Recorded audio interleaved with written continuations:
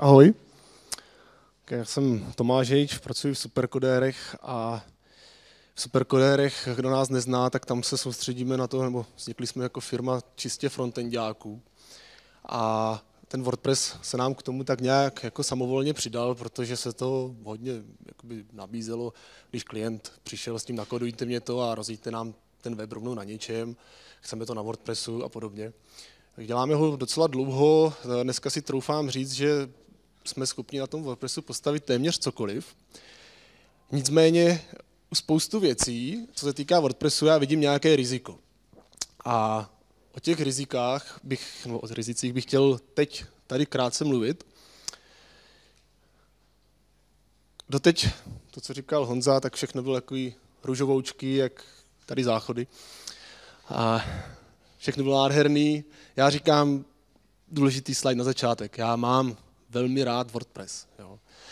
Ať tady dneska budu mluvit o tom, jaká jsou rizika, kdybych WordPress nikdy nepoužil a kdy si dávat pozor, tak jsem zastánce a fanda WordPressu. A pojďme na ty rizika. V té mé přednášce se krátce zmíním o tom, ukážu pár typů projektů, kdy si myslím, že se WordPress nehodí. Jo, nebo byste minimálně to použití nějakým způsobem měli zvážit. Další riziko, který vidím, tak je, uh, tomu říkáme tomu kvalita, jsou to použití šablon, pluginů, bezpečnost. A třetí takovou oblast, která je riziková z mého pohledu, tak je, je samotný tým. Samotný tým, který na uh, tom daném webu pracuje a vyvíjí ho na, dejme to, na tom WordPressu. Tady jsem si dovolil vysnímkovat pár uh, Facebook komentářů. Uh, ta diskuze se mně hrozně líbila, kdo jste ji neviděl. Honza, Honza se zeptal na Facebooku, eh, na skupině frontendistů, co se komu líbí na WordPressu a nelíbí a poprosil o nějaký názory. A ta diskuze se tak jako rozvětvila úplně do všech stran. Jo. Napsali tam fandové za jako bezmezně milující WordPress, jak je WordPress krásný, sluníčkový a suprový a prostě nic jiného neexistuje. Oproti tomu samozřejmě se našli lidi, kteří WordPress je nejhorší, co jsem viděl. WordPress bych prostě kapitola sama o sobě, radši jsem si napsal svůj, CMS. Spousta lidí, když slyší, že si někdo napsal svoje CMS, jak si říká, tyjo, kde jsme, jako v roce 2095 no, třeba, nebo... A pak byly takové jako rozumný názory, že uh, někde je to někde mezi. Takže prostě názory na WordPress jsou všelijaký. Ať ty fanouškovský, negativní, pravda je asi teda někde uprostřed, to už to rozhodnutí nechám na vás. Diskuze se mě hrozně líbila a je v ní docela dost zajímavých podnětů. Nicméně pojďme na ty projekty, u kterých já troufám si říct, že typy projektů, na které bych WordPress nikdy nepoužil. To byla jako, jako první myšlenka, že vám tady řeknu ty projekty, prostě, kdy WordPress nikdy nepoužijete. Pak o tom začne, začne člověk přemýšlet trošku víc a, a tak jako trošku to teda zmírníme. Ukážu vám typy projektů, u kterých byste se měli nad WordPressem, na použití WordPressu minimálně zamyslet. Zamyslet, jestli ano, nebo ne, nebo jaký jsou prostě rizika, jaký jsou plusy, minusy. První věc. Zeptám se, kdo z vás má osobní blog. A kdo si ho provozuje sám na WordPressu? A kdo ho má na něčem jiným než na WordPressu? Dva. Já osobně si myslím, že ve chvíli, kdy se rozhodnete začít psát osobní blog, tak je to poslední, na co byste si měli vzpomenout, je instalovat vlastní WordPress. Ať je WordPress blogovátko a vznikl vlastně jako blogovací nástroj, tak ve chvíli, kdy vy chcete začít psát svůj vlastní blog, tak ho začněte psát. Zapomeňte na to, že budete instalovat WordPress a, a nějak ho konfigurovat. To je prostě ztráta času za mě. Použijte nějaké hotové řešení. Jo, použijte něco, co existuje, nemusíte se o ten provoz starat, vy se můžete soustředit jenom na to psaní. A dneska jsou ty služby tak promakaný, řeknu, že vám umožní si ten vzhled přizpůsobit, jak potřebujete, funkčnost. Myslím si, že prostě řešení je to lepší. A zde je pár důvodů, proč teda bych ten WordPress eh, nepoužil. První a nejdůležitější věc, musíš se o ten WordPress nějakým způsobem starat. Ve chvíli, kdy se o něj přestaneš starat, tak do 14 dnů ho máš heknutý a volají vám správci ze serveru, že jste jim zaspamovali klienty a tak dál. Problém. Druhá věc, eh, ty specializované servery si myslím, že dokážou těm blogerům nabídnout nějaký lepší komfort, ať už třeba nějaký followery, jo, lajky a podobně. Samozřejmě dá se všechno řešit ve WordPressu, ale jsou prostě za mě příjemnější pravidla.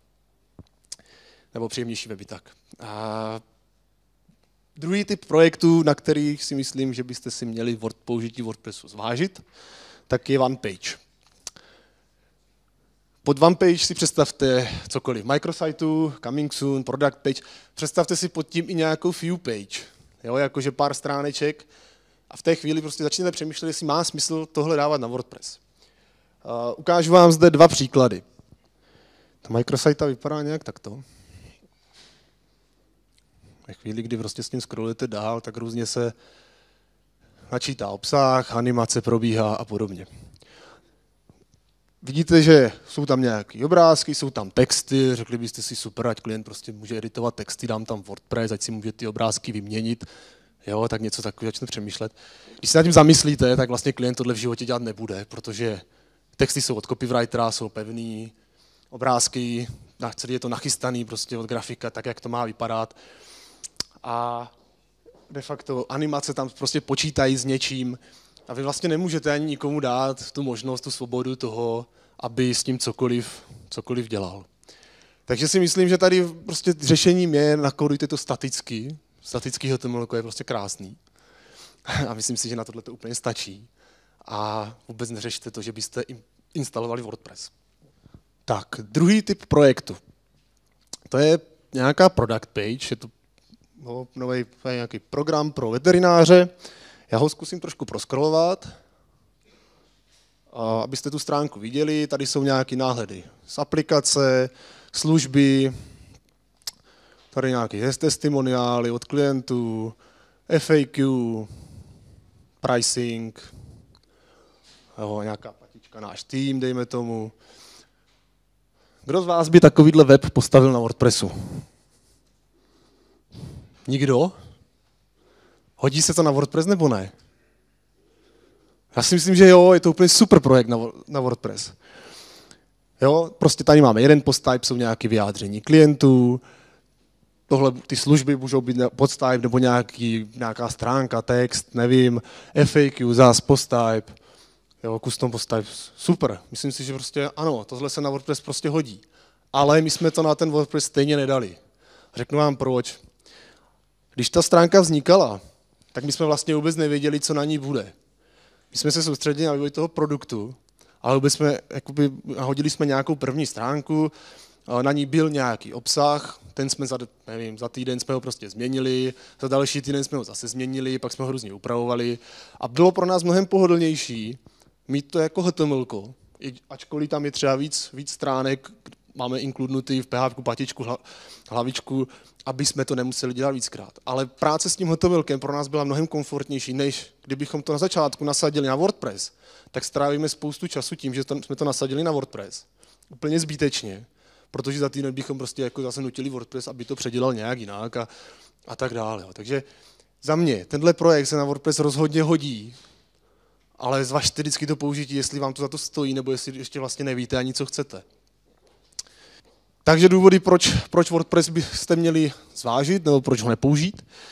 Ve chvíli, kdy máte pevnou kopii, jo, od copywritera napsané texty, pevný design, jsou tam nějaké animace a víte, že, se, že vlastně s tím přes ten WordPress vám jako nic vám nepřidá, tak to nepoužijte. Když potřebujete něco nahodit rychle, zase ne, není potřeba se zabývat nějak jako instalací WordPressu, nakodujte to, kdykoliv můžete tu šablonu pak vzít a nasadit ji na ten WordPress, to vám jako, nikdo, tuhle možnost vám nikdo nikdy nevezme. A další věc ještě, kterou uh, WordPress sám o sobě, když použijete nějakou výchozí templateu, tak prostě vygeneruje nějaké věci do HTML, které tam třeba nechcete. Uh, hej, RSS třeba, jo, a vy to vlastně vůbec se tím nechcete zabývat, nebo nainstalujete nějaký pluginy tam, aby, aby vám to něco řešilo, zase vám to tam vyplivne nějaký kód, který nechcete. Jsme frontendisti, máme rádi, to, jak vypadá ten zdroják, že jo, a prostě chceme mít všechno pod kontrolou, tak to uděláme prostě staticky a poslouží nám to. Tak, třetí, třetí typ pro, uh, projektu, kde si myslím, že WordPress zas nepoužít nebo ho minimálně zvážit. E-shop. E-shop, velký e-shop typu Alza, typu MOL nebo něco takového. A co mám nějaké informace, tak WordPress asi bude tlačit trošku teďka nějaké e-shopové řešení. A možná někteří z vás používáte WooCommerce nebo nějaký tak něco podobného. Ano, řešení to je, no, na WordPressu je možný provozovat WordPress, teda e-shop. Nicméně ty velký, velký e-shopy na WordPressu většinou teda neběží.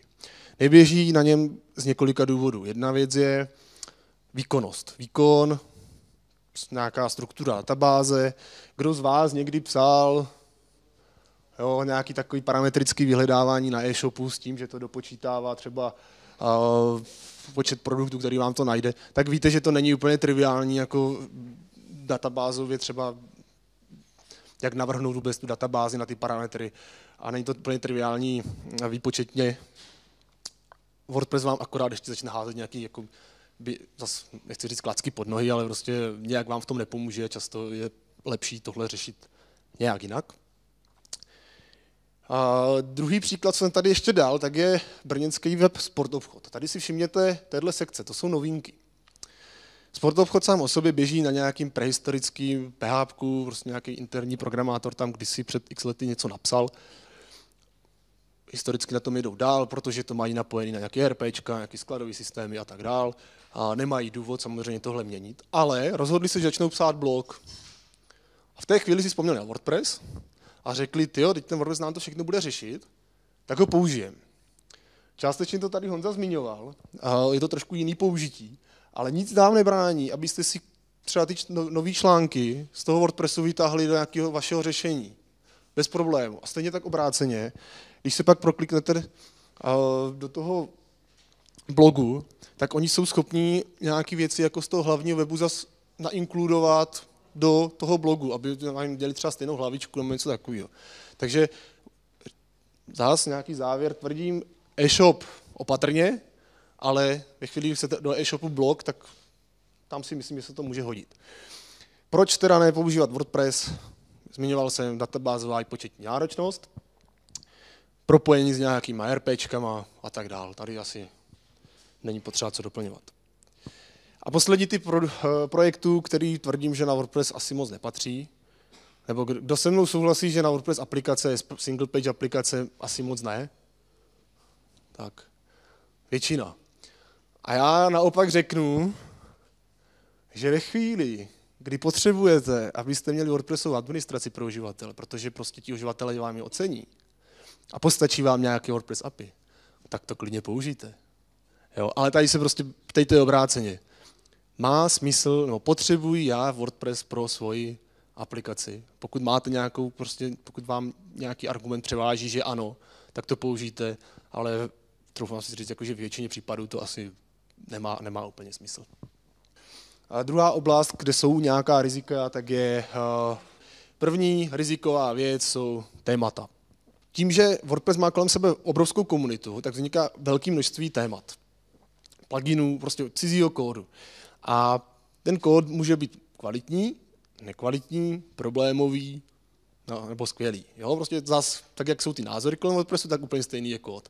Od top až po prostě katastrofu. Proto, než nějaký téma koupíte nebo použijete, tak ho důkladně vyzkoušejte. Podívejte se pak do zdrojáku, co to dělá, jak to dělá, jaký tam má pluginy třeba naimportovaný a podobně. Důležitá věc, ve chvíli, kdy k vám přijde klient a řekne, tohle téma je super, to já chci a to, na to mě postav můj web, tak to je riziko asi největší zvažte, jestli vůbec jako ten klient, ne, že se mu to líbí, to je, je, je super, ale jestli má, jestli na ten jeho typ projektu, ten, ta template jako funguje, jo, jestli uh, má pro to obsah a tak dál, protože samozřejmě ty dema jsou udělané tak, aby prodali, jsou tam nafoceny nějaké fotky a pak zjistíte, že klient nemá ani jednu fotku třeba, jo, tak to je jako riziko samozřejmě. Uh, funguje podpora, vždycky se dívejte, jestli vůbec to téma jako je živý a jestli kolem něho, jestli, na ně, nebo jestli se o ně někdo stará ve chvíli, kdy bude nějaký problém, ať ho můžete updatenout. A samozřejmě updateujte. Mně se hrozně líbil Tamagotchi syndrom. Jo? WordPress fakt má Tamagotchi syndrom. Musíte prostě neustále aktualizovat, updateovat, updateovat, nebo vám to někdo do týdne hackne. Tak, druhý, podobně jako templatey, jsou pluginy. Pluginy, myslím si, že máme to ještě u těch, oproti těm eh, šablonám ta, to riziko ještě větší. Spousta z eh, vývojářů má tendenci, ty super plugin, prdnu to tam, další plugin, prdnu ho tam. Jo, a najednou máte 10 pluginů. Na každou blbost použijete plugin, prostě místo toho, abyste si, já nevím, do JavaScriptu napsali nějaké rozbalování textu, tak prd plugin, hoď to tam. Než ten plugin použijete, tak zás podívejte se aspoň trošku, co dělá. A samozřejmě ho testujte a neřešte všechno pluginami, pluginy. A ve chvíli, kdy prostě existuje řešení, které zvládnete třeba sami nebo nějakým způsobem, tak to udělejte. Ten plugin může přinést nějaký komfort, ale musíte vědět, co za ním stojí. Zás funguje podpora a updateujte. Bezpečnost, už jsem tady o tom mluvil. A mluvím o tom proto, protože tu zkušenost samozřejmě s mám. Použijte silná hesla. WordPressy díky tomu, že jsou prostě na tom webu, já nevím, 25% internetu běží na WordPressu, tak e, velmi zajímavý cíl pro hackery. Budou vás nějakýma slovníkovými útokama prostě na vás budou útočit, tisíc jedna typů a triku, jak zabezpečit WordPress. To není žádná kniha, to je to, co si zadáte do Google a vyjede vám milion návodů, co byste měli všechno udělat, jak zabezpečit svůj, svůj WordPress. Kromě toho, že máte updateovat, tak já radím, ještě zálohujte. Jo, ve chvíli, kdy už se vám teda nějaký problém stane, tak ať ho můžete jednoduše vrátit. Další věc, kvalita výstupu. Už jsem to tady zmiňoval, my frontendisti máme rádi a výsledný HTML. Jo, podívejte se, co vám ten WordPress vy, vy, jako vyplivne a snažte se to nějakým způsobem korigovat, nenechte to tak jako samovolně generovat, co, co, co se mu zlíbí. Důležitá věc samozřejmě rychlost webu. Jo. Dbejte na to, ať jsou ty weby rychlí. Jestli tam máte nějakou, nějaký, nějakého šotka, který vám to za, zacyklí, tak jo, je důležité to mít pod kontrolou. Uh, SEO, jo. Uh, někdy to prostě ten WordPress udělá jinak, než chcete. Tady jsem si krásně naběh. Jo. WordPress má krásný, krásný zaškrtávátko, zakázat indexaci robotům. Pak to dopadne takhle. Jo, byli, web nám běží asi, nevím, dejme tomu rok, že jo, máme, slavíme rok a já jsem minulý týden teprve tady tohle očkrtnul teda. tak, no a poslední riziko, kterým bych chtěl mluvit, tak je, tak je tým, tým spolupráce, kodér, programátor. Zeptám se, kdo z vás má tyhle role u WordPressu, nebo implementujete WordPress, pracujete s WordPressem a máte tyhle role rozdělené, že máte kodéra, který tu šablonu nakóduje, máte programátora, který to nasadí. Má s tím někdo z vás zkušenost? Super. Někteří jo, my s tím máme velkou zkušenost. My díky tomu, že jsme jako vyloženě frontendáci, tak často předáváme jenom ty templatey. A u té spolupráce kodera a programátora je několik rizik. První je devstack. Jo. Frontendáci mají prostě super, super devstacky.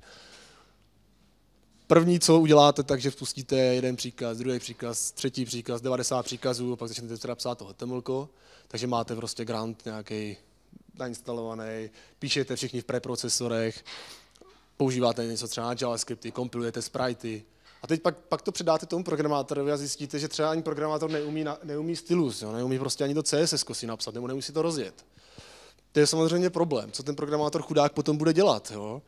Tak řešením je inkludnout si vlastní skript, jo, developer.css třeba, tam si to píše to klasický CSS a, a píše importanty a přebíjí vám to, co prostě potřeboval vám změnit 10 pixelů na 20 třeba. Takže fajn je, jako když se na začátku nějakým způsobem domluvíte. To stejný programátor je lenoch. Jo? Vy mu něco předáte a programátor řekne, to nejde, ono všechno vždycky nějakým způsobem jde. Takže zase potřeba tohle vyvážit a stát si třeba jako za tím, že hele, nebuď lenošný a udělej to, to, že ti to tady plugin nějakým způsobem jako generuje, tak, tak to prostě uprav. Ale na druhou stranu, zase ani kodér by neměl být lenoch. Jo? Ve chvíli, kdy uh, vám WordPress třeba generuje, já nevím, menu, tak někdy je jako jednodušší to menu ostylovat, to, toho tomilko, který vám z toho WordPressu vypadne, než nutit programátora, ať toho tomilko upraví.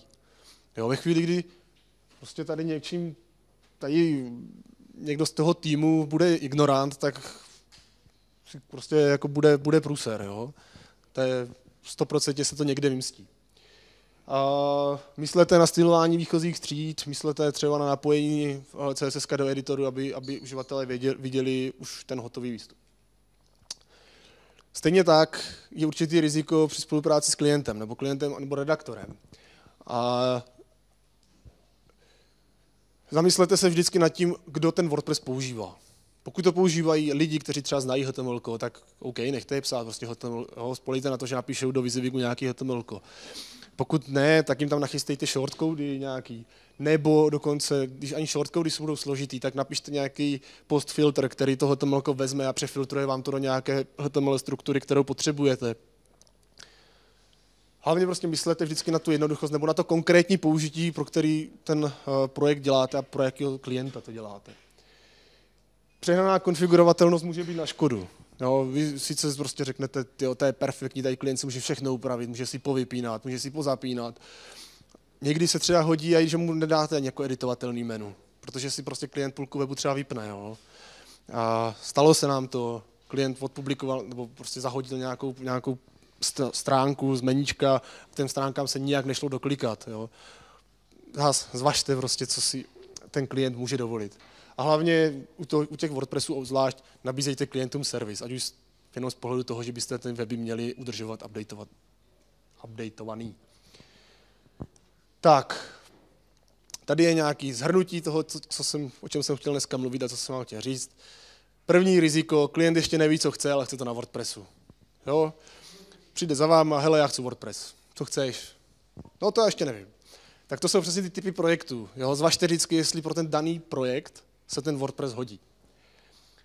Druhá věc, použití pluginu a šablon. Opatrně zkoušejte, testujte, dívejte se, co to dělá. Nepoužívejte bezmyšlenkovitě. A ve chvíli, kdy spolupracujete v nějakém týmu, domluvte se nad tím, jak budete pracovat. Myslete na redaktory, myslete na klienta, myslete jeden na druhýho a snažte se, aby ten výsledek byl ideálně samozřejmě co nejlepší. Tak, to je ode mě všechno. Těším se na diskuzi.